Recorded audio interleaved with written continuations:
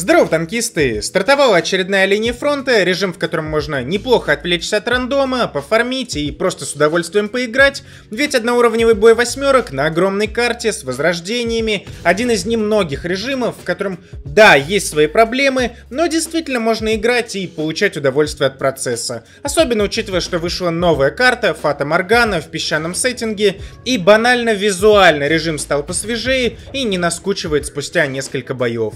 Так вот, сегодня будет небольшой видос, в котором мы поговорим, а какие же танчики лучше всего заходят в линии фронта для приятной игры и эффективного фарма. Это будет не совсем топ, так как разные игроки будут отдавать предпочтение разным танкам, но все машинки, которые сегодня будут в списке, хороши в данном режиме. Ну и не забывайте, ребят, только палец вверх ставить и в комментариях можете писать ваши варианты машин. Это сильно помогает мне продвигать контент и мой канал, так что заранее вам спасибо. И, ребят, заранее извиняюсь за возможные небольшие подлагивания в видео. Как я и говорил, режим не без ошибок. И именно реплей разработчики здесь до ума еще не довели. И много разных ошибок бывает, подлагивания, баги и прочее. Ну, а также на двух танчиках я взял реплей из рандома, так как банально не смог найти не багнутый реплей на них э, именно в линии фронта. Но, надеюсь, это не будет какой-то большой проблемой. Так вот, для начала разберем основу, исходя из которой выбираются лучшие танки для линии фронта огромнейшая карта – да, бывают перестрелки в упор, но зачастую достаточно внушительные дистанции стрельбы, а также почти все играют на базовых снарядах, а не на голде. Поэтому броня в этом режиме не в приоритете, но если она будет, не в ущерб другим странам, то это будет отличный бонус, а в некоторых ситуациях в защите, когда вам далеко и быстро ехать не надо, может действительно хорошо послужить вам. Однако базово мы делаем вывод. Главное в линии фронта в режиме с огромнейшей картой это хорошая динамика и комфортное орудие с высоким уроном в минуту, так как пострелять практически всегда есть в кого, и чем чаще вы это делаете, тем больше урона, соответственно, и настреливаете. И у следующего танка все это есть. Уже ставшая старая и добрая итальянская Progetto 46. СТ, у которого все в порядке с динамикой, в рамках большой карты он нормально катается, везде успевает, и при этом имеет отменный барабан с дозарядкой, который отлично заходит, базовое пробитие 212 мм, чего вам в этом режиме будет всегда хватать, комфорт стрельбы приятный, УВН минус 9, ну и три снаряда в магазине будут помогать вливать больше урона, чем рядом стоящие союзные СТшки, когда в ваш прицел внезапно кто-то будет выкатывать. В плане брони танчику, конечно, похвастать нечем, но из бонусов фугасами он в силуэт не пробивается, так что от рыжих снарядов, как некоторый картон, мы страдать не будем. Про Джетто танчик, который и в рандоме заходит на ура, и в линии фронта может неплохой настрел показывать и приятные бои приносить. А вот следующий агрегат будет немного посложнее. Шведский Lance NS. Динамика суперская, рвет максималку с места. Правда, она тут внезапно 50 км в час, а не 55, как у того же итальянца. Но к динамике тут вопросов нет. Танчик шустрый, всегда поспевает. Пушка здесь уже цикличная, с приятной альфой в 320 единиц, нормальным комфортом. Стабилизации чуть не хватает, поэтому всегда надо будет дополнительное время на подсводку тратить. Но все в рамках приличия. УВН минус 10, урон в минуту как как для СТ очень неплох. Единственное, конечно, танчик картонный, и по габаритам его попасть совсем не трудно. В плане фугасов с лба есть углы наклона брони, в которые рыжие снаряды будут залетать почти без урона, поэтому пойдет. Но вот если к вам в борт или в корму залетит противник с неплохими фугасными снарядами, то готовьтесь получать по полной. И если та же Проджета за счет барабана может чуть поагрессивнее разыгрывать, тут же у нас такой классический СТ второй и третьей линии, который хорошо играется в ЛФ, но всегда держите дистанцию и вперед своей команды не лезьте. Танчик может крайне уверенно и стабильно заходить в режиме, но, как по мне, скучноват и местами излишне сложноват, скажем так. Следующий СТМ это польский лис. Тут, я думаю, даже лишних слов не надо. Этот танчик и в рандоме в последнее время хорошую популярность у игроков сыскал. Прекрасная, в меру комфортная пушка с альфой в 320, урон в минуту не уступает в среднем конкурентам. У ВН, правда, минус 7, но для линии фронта это вполне нормально. У вас все еще море позиций, где рельеф будет играть вам в плюс, а не в минус. А что самое важное, особенно на фоне того же Лансона, есть кое-какие миллиметры брони они в башне, что позволяет резко выкатывать, давать безнаказанный урон и закатываться от противника. А если вы нашли позицию от рельефа, или если просто находитесь выше противника, то и танкующему ВЛД тоже удивляться не стоит. Тем более, напоминаю, что у нас тут одноуровневый бой, где 95% игроков играет исключительно на базовых снарядах. Невероятно простой, крайне универсальный для линии фронта танчик, который будет заходить просто на ура, а главное и игра на нем будет в меру такой агрессивной, а значит достаточно интересной, но при этом несложной.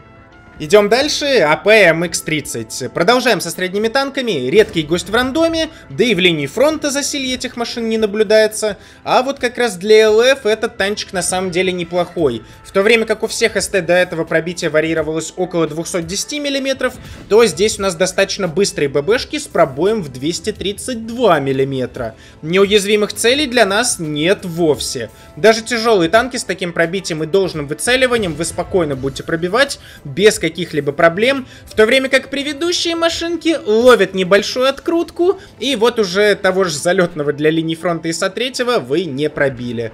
Тут, ну, у француза же такого не будет. При этом комфорт стрельбы неплохой, у ВН вообще минус 11 градусов, а в купе с нашей башней, на всю ширину которой растянута непробиваемая маска, мы можем очень уверенно вылезать и наносить урон от рельефа. Корпус тут картон, на него не рассчитываем, но вот катается этот корпус быстрее, чем все предыдущие средние танки.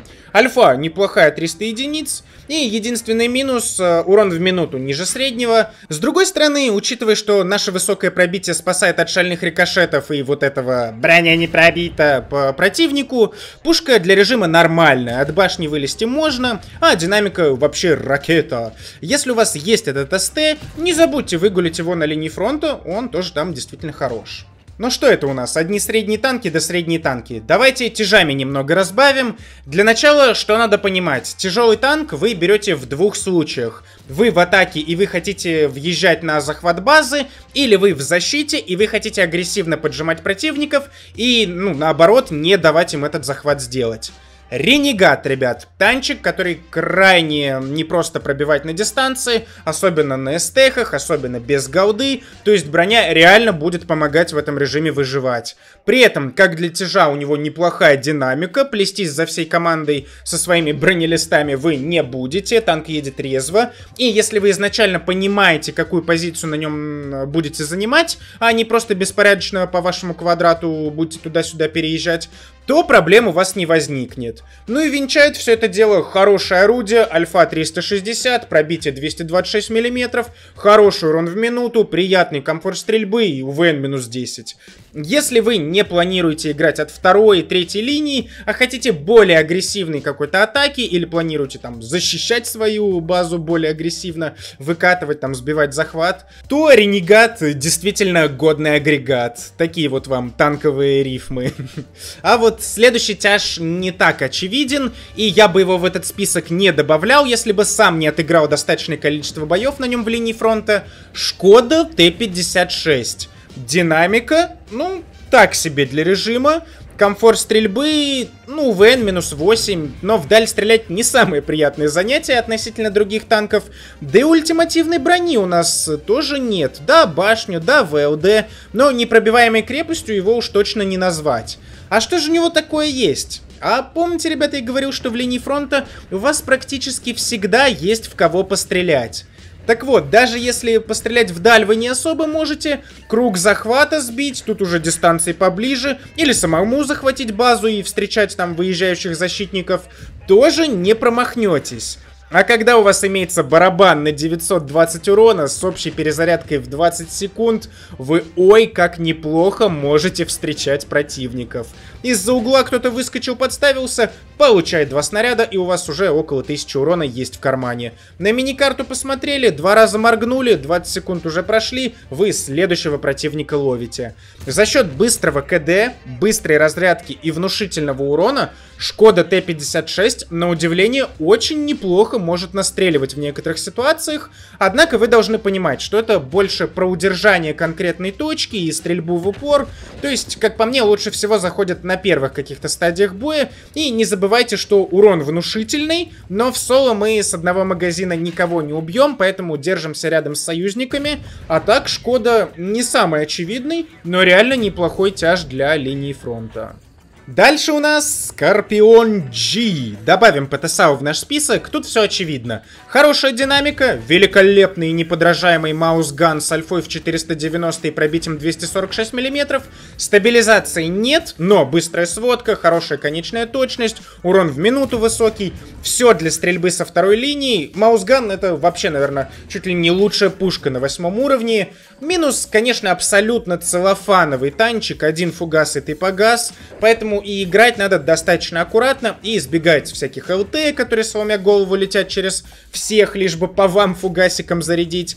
Если вы будете достаточно осторожны и сможете играть от альфы и от этой шикарной действительно пушки и динамики, постоянно меняя позиции, там подкатывая за вашими союзниками, Скорпион G, этот танчик действительно отлично зайдет в линии фронта. Ну и раз ЛТ упомянул, давайте по поводу них теперь. Вообще, какая проблема у легких танков?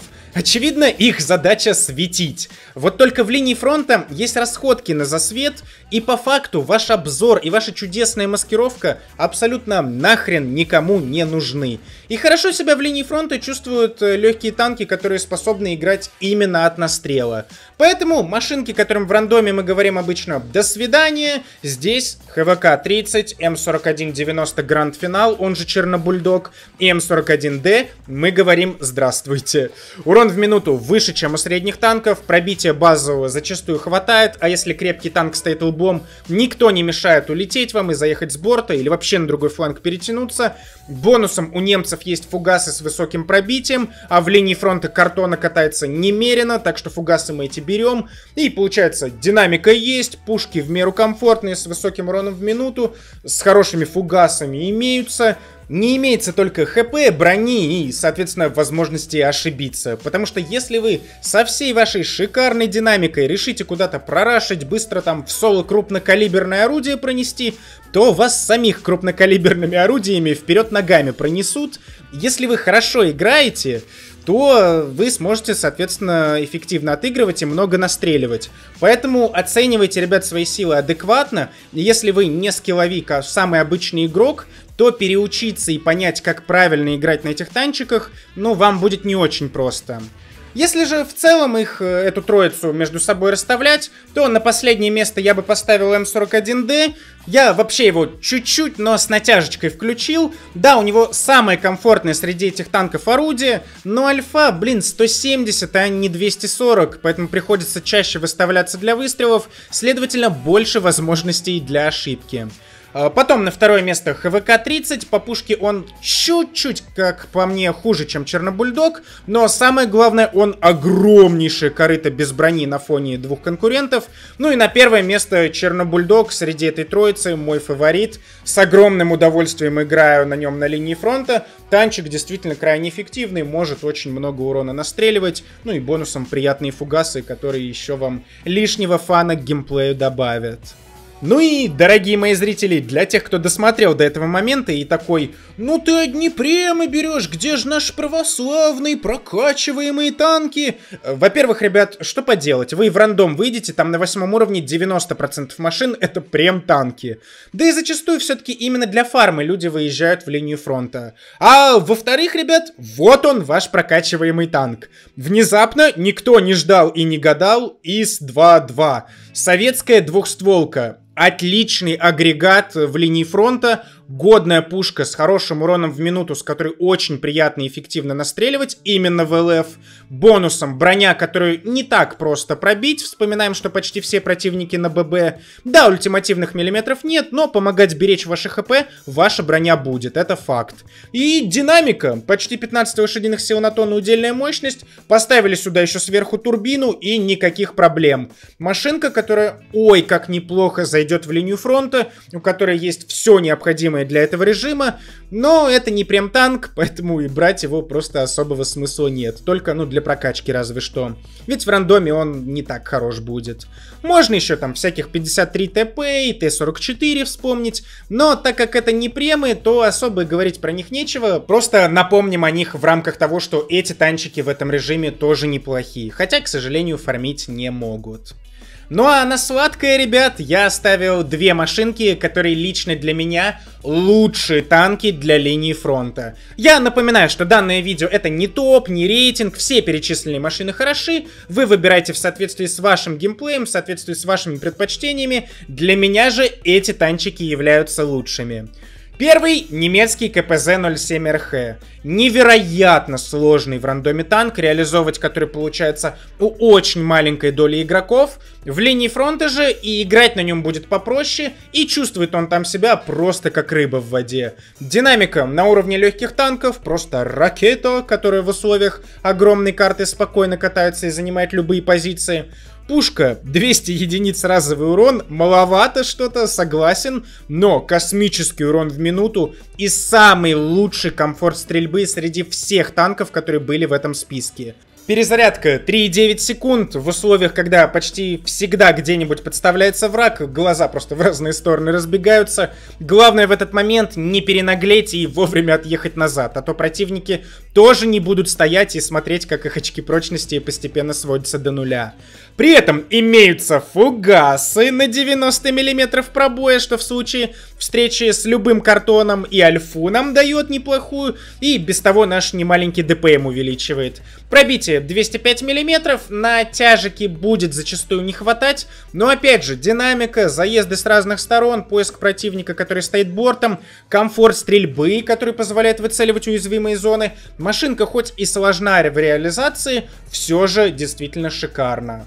Ну и мой личный топ-1 для линии фронта, да если объективно на этот танчик взглянуть, он действительно достоин этого звания. Чешская ПТСАУ, Шептка ТВП-100, там или Ширача, как я ее называю, или Шпак, или Шпатель, и в принципе у рандома множество вообще прозвищ для этой машинки.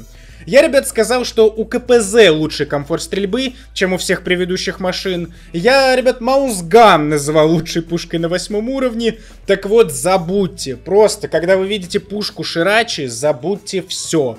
Урон в минуту спокойно разгоняется до 3500, пробитие 270 мм на базовых снарядах, почти любой танк в рамках линии фронта мы чуть ли не в силуэт пробиваем.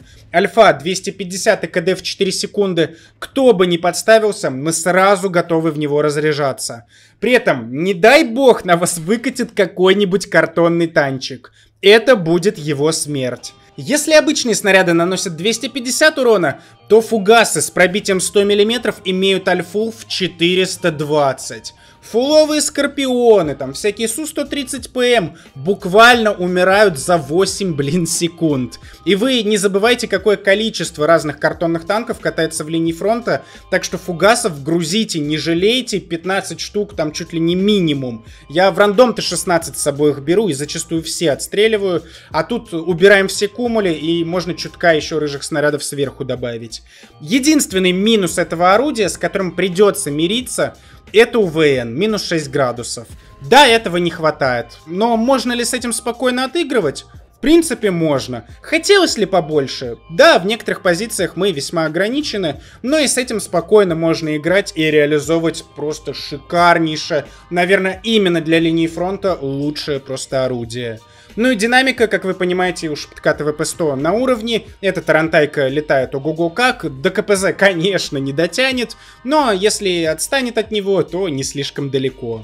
И, как я и говорил, в режиме, где главное это иметь хорошую комфортную пушку и динамику, чешская ПТшка становится просто воплощением идеального танка. Привыкнуть к геймплею, там, разные предпочтения у разных игроков, это одно. Но если вы хороший игрок, то этот чех потенциально будет одним из самых эффективных, та э, эффективных танков для линии фронта в ваших руках. А что самое главное, это крайне интересная машинка, на которой каждый бой будет в удовольствие, не в последнюю очередь благодаря ее мощным фугасам.